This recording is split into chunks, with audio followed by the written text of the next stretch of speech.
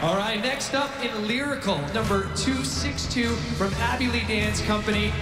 Winner takes all, it's Brynn.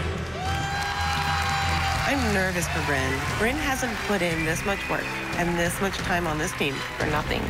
I don't think this is the end of the ALDC. And now is her chance to get back to becoming the star that she's supposed to be. I can't even watch this.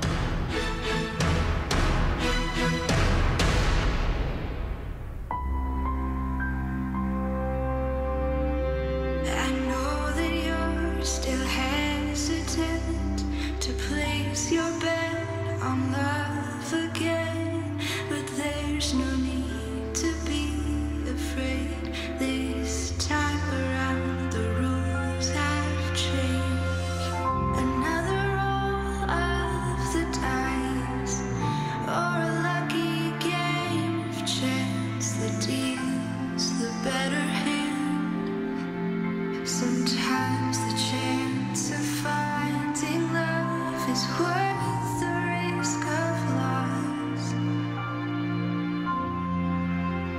Cause the winner takes it all.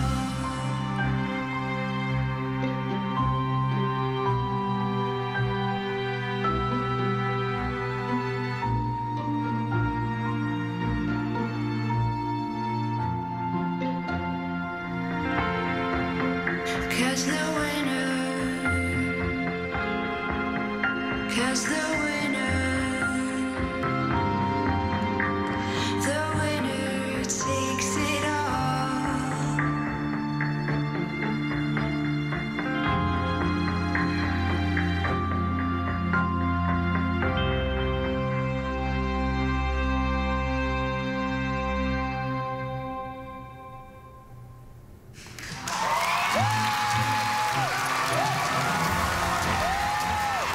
It held all my legs. That was The arabesque. really nice. The arabesque was nice. Good job, Brittany. It's pretty. I loved it.